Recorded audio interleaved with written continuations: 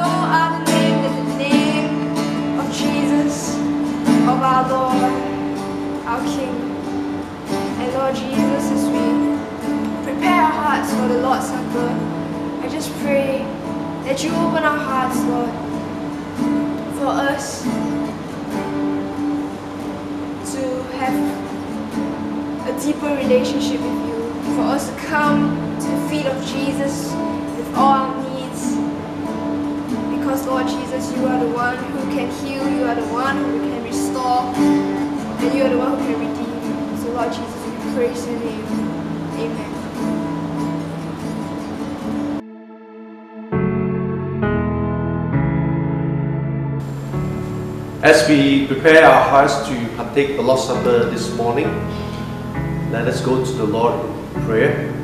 Father, we want to thank you as we come to the Lord's table this morning. We are reminded of what Jesus done for us on the cross of Calvary 2,000 years ago. Lord, His body was broken for us. His blood was shed for us for the forgiveness of sin. And as we partake this morning, may we remember the finished work of the cross on Calvary. Father, we bless you, we worship you in Jesus' mighty name. Amen.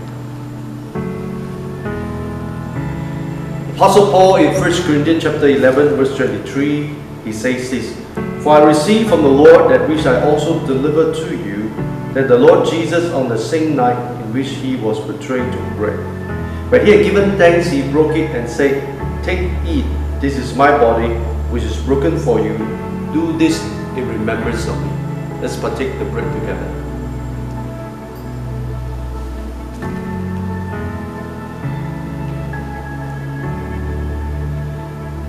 In the same manner, he also took the cup after supper, saying, This cup is a new covenant in my blood. This do as often as you drink it in remembrance of me. For as often as you eat this bread and drink this cup, you will claim the Lord's death till he comes. Let's drink together. Let's pray. Father, we thank you in the name of Jesus for this new covenant that we have through your Son Jesus. And we pray for those who physically unwell, we pray for the power of Jesus, the healing power of Jesus. Touch them right now in Jesus' name, wherever they are. We speak healing to come to your physical body. We ask in the name of Jesus, Lord, for those who need strength, we pray for the strengthening of their physical body in Jesus' mighty name. Amen.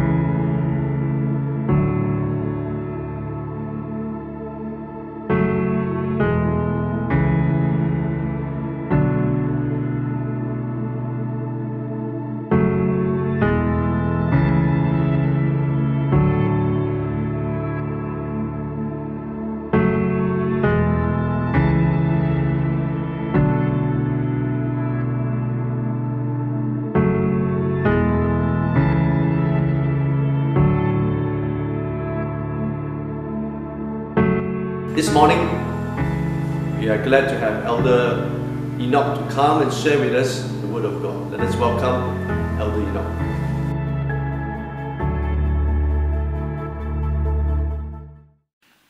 Hello.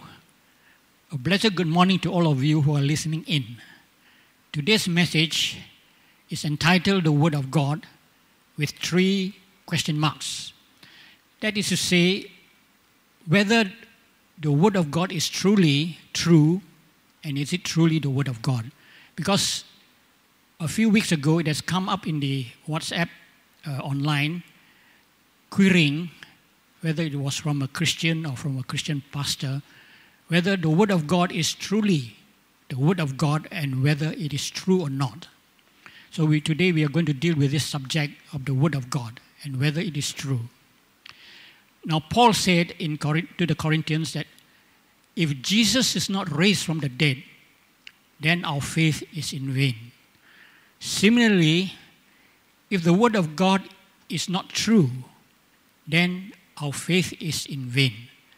Because the Word of God, the Bible says Jesus was raised from the dead.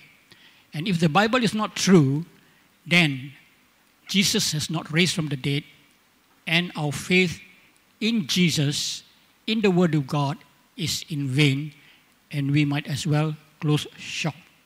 Okay? But Jesus, but the Bible is the Word of God, and we are going to see, see this and see uh, how true it is and how the Word of God has come to us in various forms and in various ways. Now, the big picture of this is firstly, we must establish what is the truth and who is the truth. The Bible says, Father God is a word of is a God of truth in, in Deuteronomy 32. His son Jesus is the way, the truth, and the life. The Holy Spirit is the Spirit of truth in John 16. Now, the Bible originates from the Father, Son, and the Holy Spirit, and is the Word of God. It's true, and it's the truth. The devil has no truth in him. And Jesus said that he is a liar and the father of lies in John chapter 8. Now, whenever we hear that the Bible is not true or it is not the Word of God, we can know that it originates from the devil to deceive the world.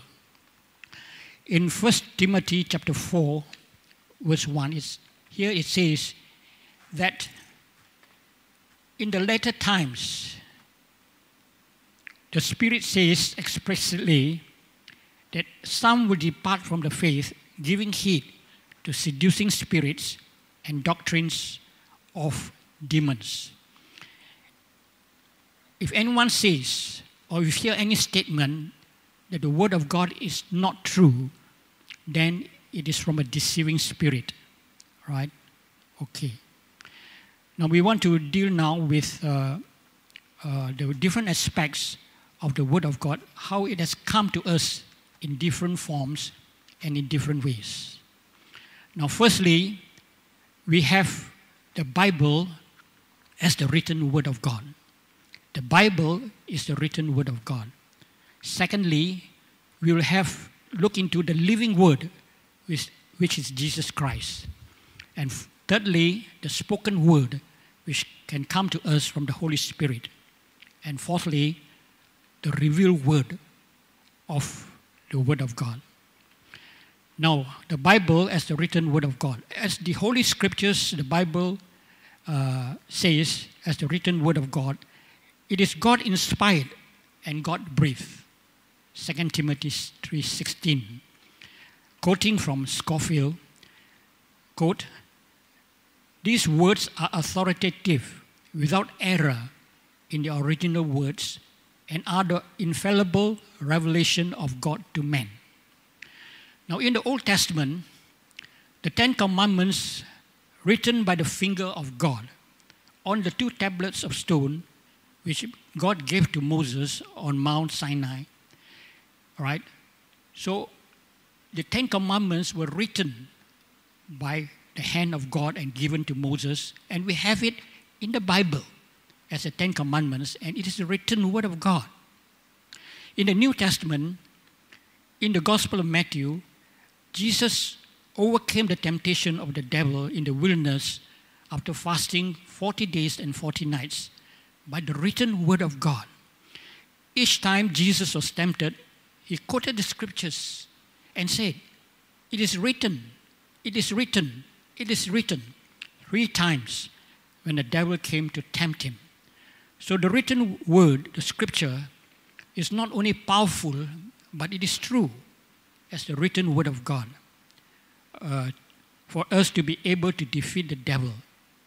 The devil knows the truth of God's word and had to bow down to it, even as the written word of God spoken by Jesus when he was tempted three times. Now, in the Gospels, the Gospel of Mark begins with the written prophecy of Isaiah uh, 43 in the, yes, and Isaiah, in, sorry, in Isaiah 43. In the Gospel of Luke, chapter 1, verse 3, he says that he wrote this account from eyewitnesses so that Theophilus might know the truth of what is written. John, in chapter 21, says he wrote these things and his, and, and his gospel, and that his testimony is true. The writers of all the gospel uh, testify that the written word of God is true. John in 1 John 5:13 further says that the very reason that he wrote these things is that we may believe on the name of the Son of God, that we may know that we have eternal life in his name. Jesus told John to write these things which he has seen, the things which are and the things that will come in the future in the book of Revelation. So all these are written by John in the book of Revelation when he was taken up in the spirit into heaven. The second uh, means that uh, the word of God has come to us is by the living word through Jesus Christ.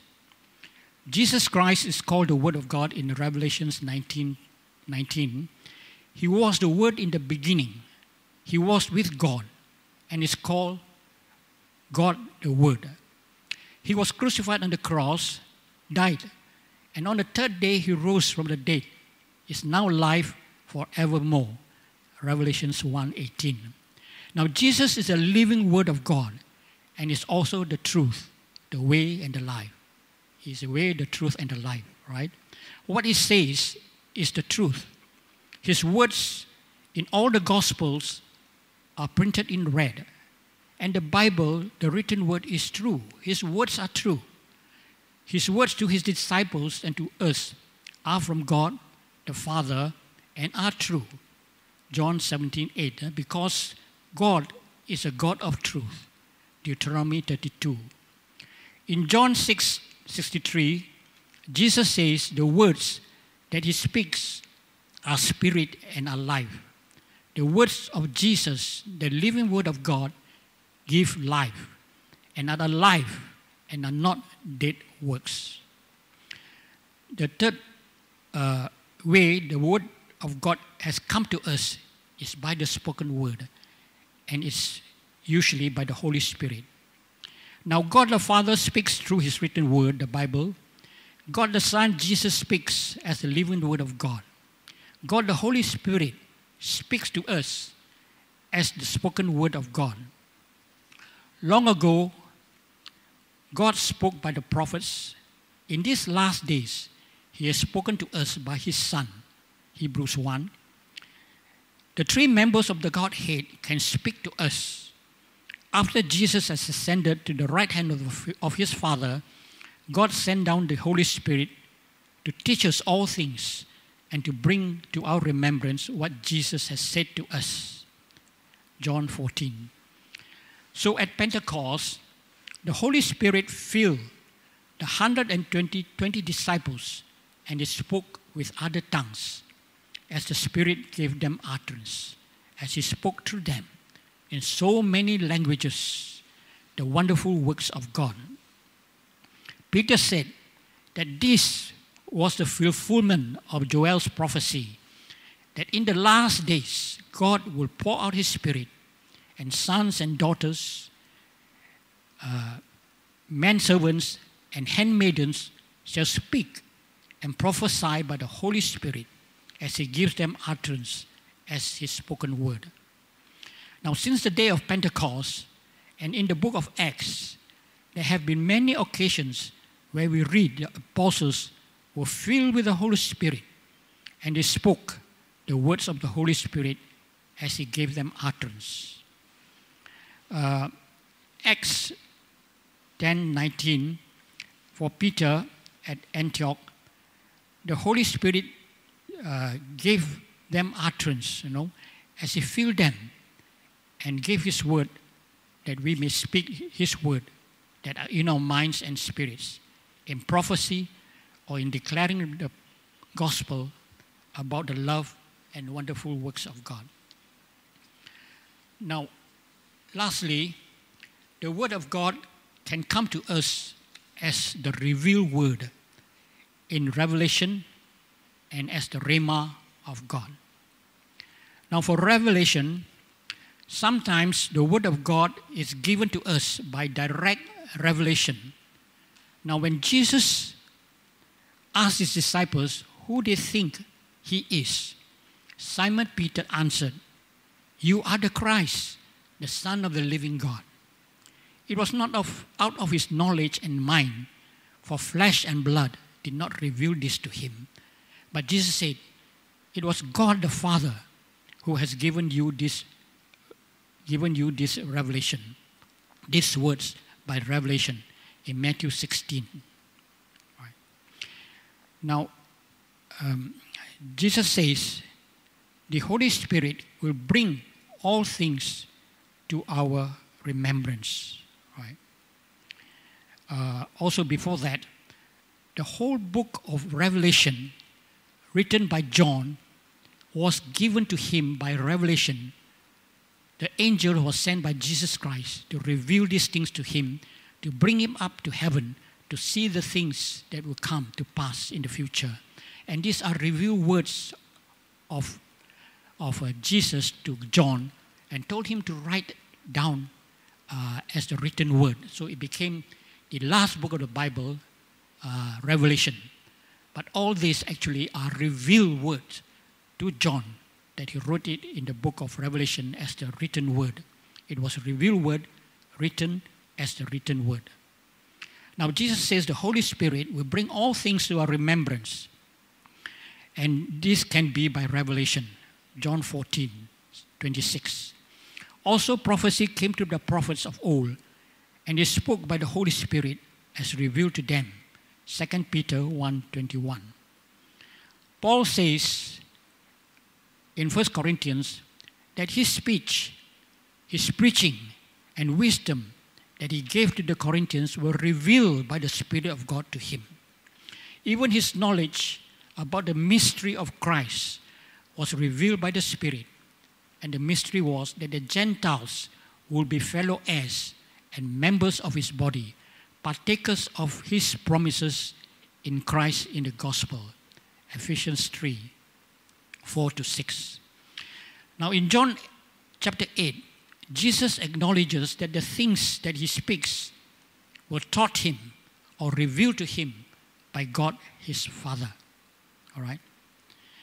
Now, to have knowledge of Jesus, Paul in Ephesians 1:17 says, he prays for them, for the church, for all of us, that the God of our Lord Jesus Christ, the Father of glory, may give to us, to them, the spirit of wisdom and revelation, revelation to know more about Jesus.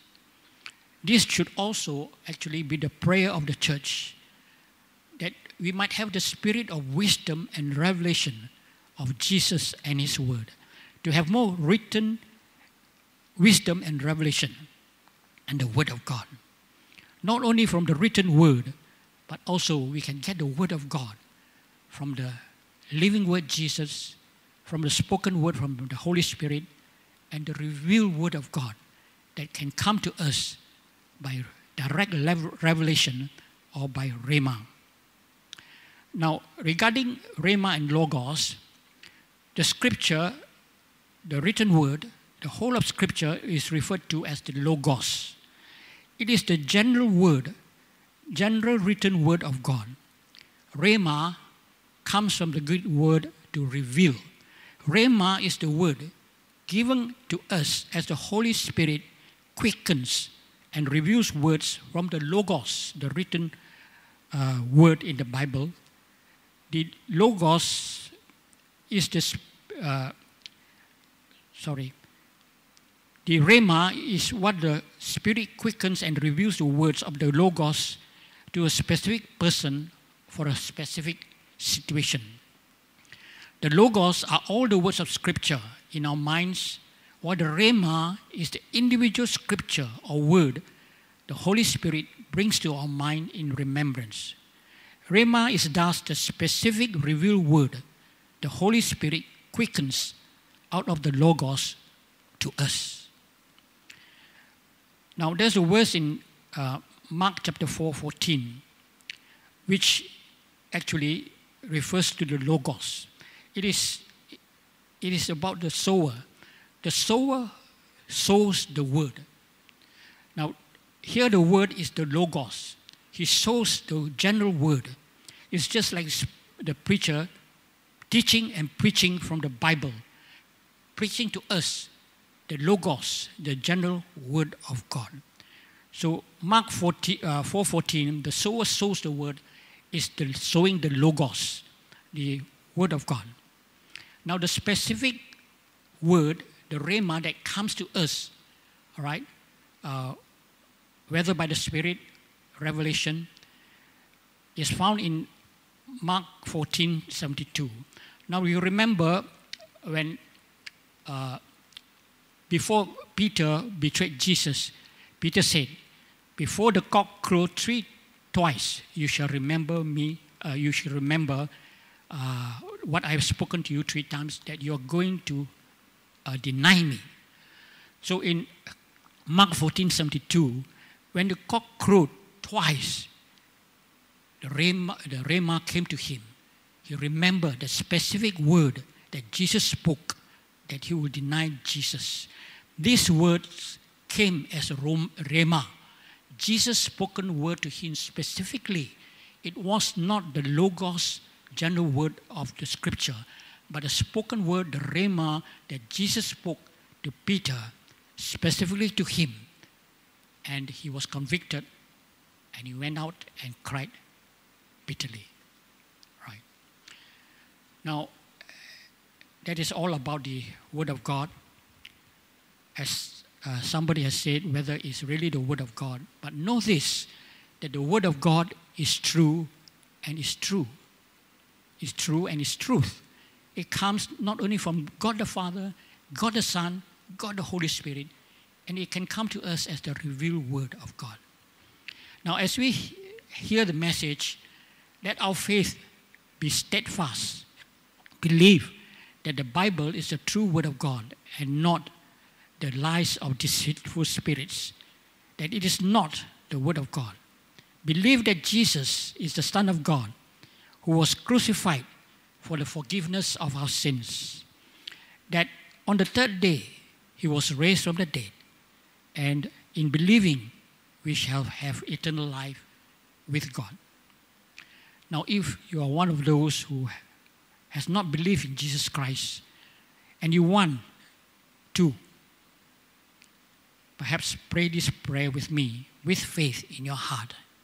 Say together with me now Almighty God, I believe Jesus is your risen Son, and I thank you.